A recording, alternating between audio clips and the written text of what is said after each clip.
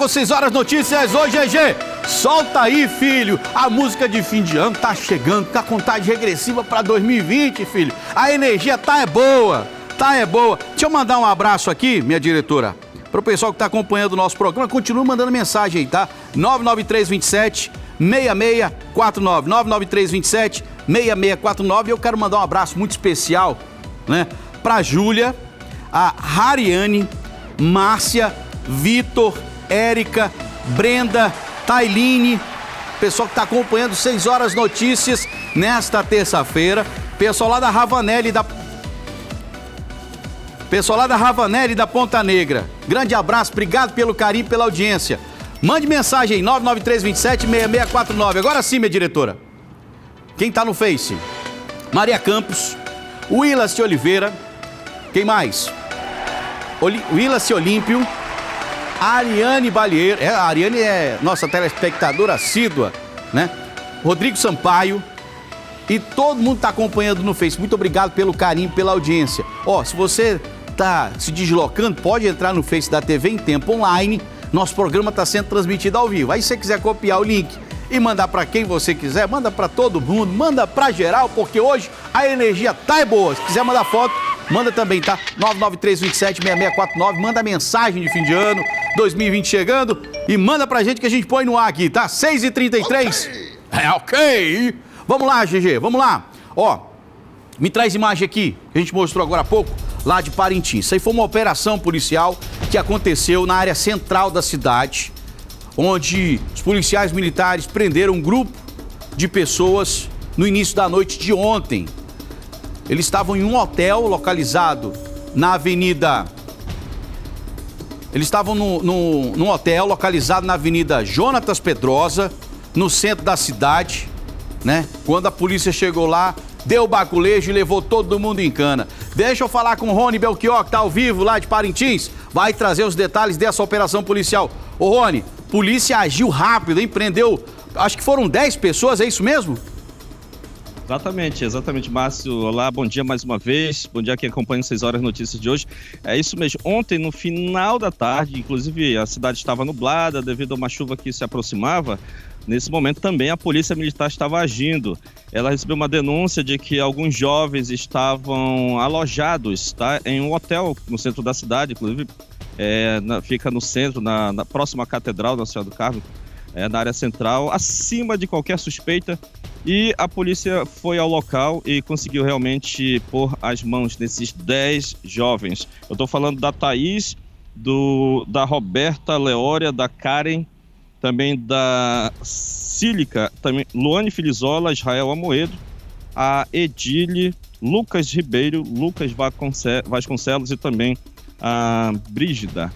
Esses foram todos esses foram todos levados à terceira delegacia interativa aqui da cidade e junto com eles foi encontrado uma, uma porção considerada de, de, de drogas, né? Supostamente cocaína e também algumas trouxinhas é, de maconha. E, no primeiro momento, é, como foi encontrado também uma determinada quantia de dinheiro, é, a suspeita da polícia é de que eles fazem parte de uma, de uma quadrilha de, de tráfico de drogas aqui na região, operando entre Barreirinha e Nhamundá porque são jovens desses municípios também, não são todos de Parintins. Então essa é a primeira suspeita da polícia. A segunda, que, que muita gente quer o que se comenta, inclusive nas ruas aqui da cidade, é que são jovens playboys que estavam apenas zoando, digamos assim, dentro do quarto do, do hotel. né? e de repente foi lá alguém que denunciou, não gostou, algum hóspede talvez, né, do próprio hotel, não gostou e entregou à polícia militar. Mas o que segue é que a polícia está investigando o caso, sim. Os 10 foram detidos, continuam presos, continuam detidos, já dormiram essa noite na carceragem da delegacia de polícia aqui de Parintins e agora a justiça deve se manifestar, inclusive fazendo aí uma, uma averiguação geral sobre a conduta desses jovens, tanto lá na cidade de Inhamundá, quanto na cidade de Barreirinha e aqui mesmo na cidade de Parintins, Márcio. Obrigado, Rony Belchior, trazendo informações ao vivo de Parintins. Já já ele traz mais detalhes, se for o caso, pra gente aqui no 6 Horas Notícias. Agora, 6h37, a gente segue aqui falando de mais de 21 toneladas de produtos de origem animal foram apreendidos pela Agência de Defesa Florestal do Amazonas neste ano. Garantir a saúde do consumidor é a meta da agência, que intensificou as fiscalizações nessa última semana do ano. Quem acompanhou esse caso foi a Samara Maciel e traz aqui na tela de 6 horas. Para chegar nas prateleiras do supermercado, o processo é longo. Há uma série de procedimentos a serem cumpridos para embalar os alimentos e, no fim, chegar ao consumidor. E para saber se as empresas estão seguindo a legislação, a Agência de Defesa Agropecuária e Florestal do Amazonas, a ADAF, faz um trabalho periódico de fiscalização. Todo produto de origem animal, para ser consumido, é, tem que estar com essa certificação sanitária. Então tem que ter é, tem que ser verificado o rótulo, nesse rótulo verificar o prazo de validade do produto e principalmente se ele tem é um produto que é acompanhado pelo Serviço de Inspeção Federal, que é o CIF, Serviço de Inspeção Estadual, que é de responsabilidade da DAF, ou Serviço de Inspeção Municipal. Nesse período, as fiscalizações são intensificadas por conta do aumento das vendas desses alimentos com as festas de fim de ano.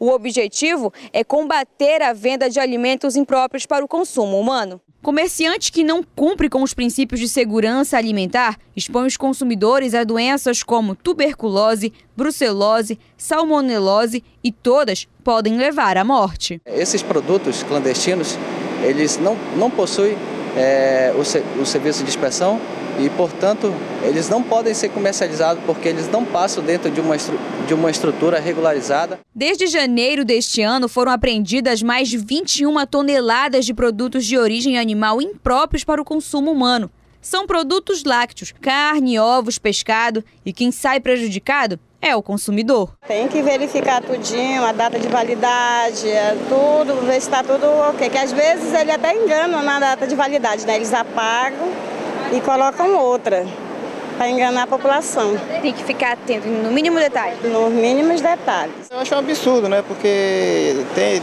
o, vários órgãos competentes que deveriam fazer fiscalização com relação a isso aí e não acontece, né? Por isso é importante o consumidor ficar atento na hora de comprar. Os produtos de origem animal devem possuir selo de inspeção que garante a procedência do produto e que ele atende todos os padrões higiênicos sanitários. Olha só, e depois do Natal, o, essa época de Réveillon vem agitando o comércio de bebidas na cidade. Veja agora como os vinhos podem harmonizar com receitas para a ceia de Réveillon. Tarcísio Laime aqui na tela. Estoque abastecido para receber os clientes para as festas de Réveillon.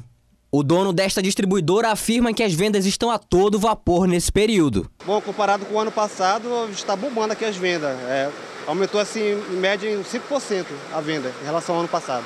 Ele destaca ainda as bebidas mais procuradas.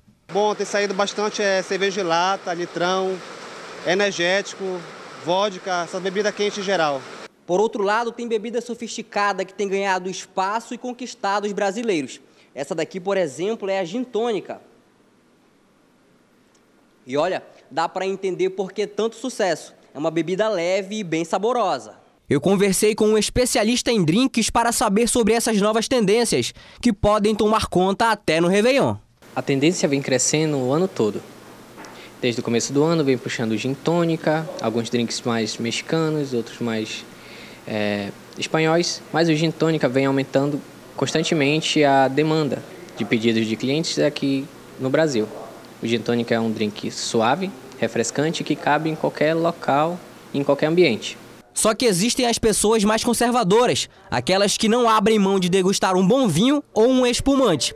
Para essas, o Evandro dá as dicas. Normalmente, é, na ceia do Ano Novo, costumam ter bacalhau, pernil, tender, peito de peru, e cada um desse varia com cada vinho ou cada espumante. Por exemplo, o peru ou tender, ele vai mais para um vinho tinto, um cabernet, um merlot, um tempranilo.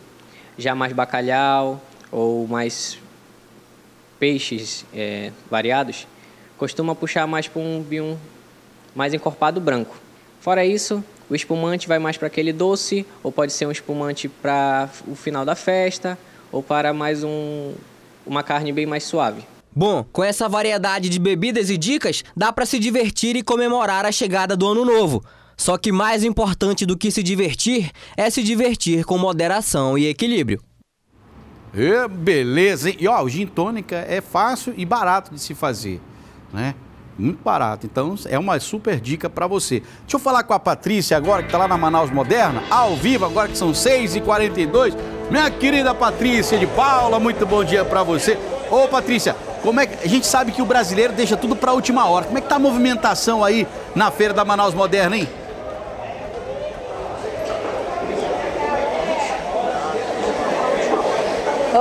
Márcio, bom dia a você. Feliz da vida de estar numa feira tão bonita e movimentada. Como você falou, realmente o brasileiro deixa tudo para a última hora e tem muita gente aqui já fazendo aquelas compras para a ceia de Natal. Você sabe que ceia de Natal de amazonense muitas vezes é bem diferente do tradicional. Afinal de contas, com tanto peixe gostoso, com tanto peixe aqui, é óbvio que vai dar uma mudada nessa ceia. Deixa eu ver aqui. E aí, rapaz, tudo bem contigo? Tá comprando o quê? Vai comprar o quê aqui? Bodão, vou comprar bodão, mulher. Eita, vai fazer o quê? Uma caldeirada ou vai ser assado? É, Deus quiser. É. Eita, gente, calde... me convida, mano, me convida. Olha só, aqui vou fazer aqui uma festa. Deixa eu falar aqui com ele também. É, quanto é que tá aqui o peixe? Esse, esse aqui é o jaraqui, né? É uma enfiada, tô acerta, acertei eu? Não, então quanto é que é esse aqui? É. Tá 20 reais jaraqui.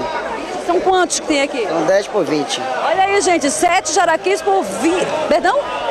10 jaraquis por 20 reais e é do graúdo. Não, gente, porque aqui não tem esse negócio pequenininho aqui, peixinho não. Mostra aqui também que aqui na Feira Manaus Moderna, viu? Todo mundo tá assistindo SBT. Mostra lá, Walter, olha só. Essa é a emissora do povo, é a emissora que fala a linguagem do povo e é do jeito que o povo gosta. Deixa eu mostrar aqui também o pirarucu, que esse aqui é o bacalhau amazonense, é aquele que faz uma sensação, uma festa aqui numa mesa. E olha só como ele é embalado, olha, gostei de ver. Rapaz, o cara parece até cantor sertanejo. Mostra aí, Walter. Olha, rapaz, que rapaz bonito, que parece até cantor sertanejo. Sabe cantar alguma coisa, meu amigo? Onde é que tá o pirarucu aqui? Pirarucu, só o filé, tá na promoção saindo a 18 reais. A parte só do filé. A parte da ventrecha, que é a parte gordura, com a gordura dele, tá saindo a 12 reais. Eita, o preço tá bom. Agora é o seguinte, você tem alguma receita para fazer um pirarucu? Porque, olha, meu amigo, eu e o miojo, a gente se acerta. Mas quando chega na hora de cozinhar, meu querido, tem alguma receita assim, bem, bem prática, assim, para alguém fazer? Pega aqui, ele vai dar uma receita agora. Atenção aí, hein? Mulheres e homens que adoram cozinhar. Uma receita boa para fazer com a parte da ventrecha é fazer ele ao molho com camarão. O molho faz ou com o molho do tucupi ou do, do molho de coco. O leite de coco para fazer no, com camarão. É uma boa receita para fazer. Muita gente faz agora no fim do ano, mas com bastante camarão. Menino já pode até casar, menino. Já tá dando até receita aqui. Deixa eu passear aqui um pouquinho para mostrar. E aí, gente, vou mostrar um monte de gente aqui. Olha, as pessoas estão circulando. Cadê o tchauzinho aqui? Ah, gente, tá todo mundo querendo dar tchau aqui também. Tá uma maior festa, gente. É, olha, amei vir para esse mercado, porque a gente mostra aqui as pessoas aqui comprando. Olha aqui, olha, quero, quero saber dos clientes, o que, é que eles estão procurando. Ei, querida, deixa eu pegar você aqui com esse laço aqui. Vem cá, com quem você tá aqui? Tá com quem aqui? Tá comprando o quê aqui? Tô com meu pai, a gente veio comprar aqui. Olha, peguei o senhor ao vivo, porque aqui é assim. Tem nada que eu combinado não. Me diga uma coisa, o que, que o senhor vai levar hoje? É para ser de Natal já? É, estamos dando uma olhadinha aí no, nos peixes aí, né? Com as qualidades que tá aí. Estamos querendo comprar aí um tambaqui aí para levar para tomar o caldo. Eita, vai ser o caldo, ou vai, ser- vai ser o caldo ou vai ser, vai ser caldo e também vai ser assado ou só caldo? Caldo e assado. Eita, rapaz, que esse ano novo vai ser bom demais. Obrigada, hein? Deixa eu passar por aqui. Agora, claro que tem os acompanhamentos. Esse aqui é o que mais chama atenção aqui na feira também, que são os camarões. É gente, pelo amor de Deus, dá água na boca, né? Um camarão desse aqui, hein? Vai fazer, vai fazer o que com esse camarão? é, vatapá, a minha esposa gosta muito de fazer, né? E o vatapá dela é uma delícia. Olha só, já encerra o fim de ano de bem aí, fazendo aquele elogio para a esposa. Me diga uma coisa, mas o vatapá dela de comer assim, rezando, querendo mais, como é que é? É verdade, é, tem que comer rezando para querer mais. Obrigada ao senhor, feliz ano novo, hein?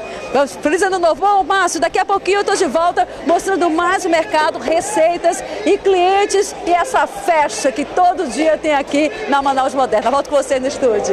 Valeu, Patrícia. Valeu, Patrícia tá lá na Feira da Manaus Moderna trazendo dicas pra gente aqui. Agora 6h27. E ó, importante é você saber que a, a, a 6h47, o importante é fazer uma receita né, de pratos de, de, de comida que, né, é tipo porco, né, bacalhau, pirarucu no caso aqui, né, para pirarucu. Então, é, são ótimas pedidas para virada do ano. E claro, o, o, rapaz foi esperto, né? Ele compra o tambaqui, mas depois já tem um caldo que é pro pós Réveillon. É, filho. 6h47, ó. A gente vai fazer um rápido intervalo e volta na sequência para trazer dicas e detalhes da festa que vai acontecer aqui em Manaus. A prefeitura está preparando aí uma programação imperdível para os amazonenses, para os manauaras também. Não sai daí, eu volto já.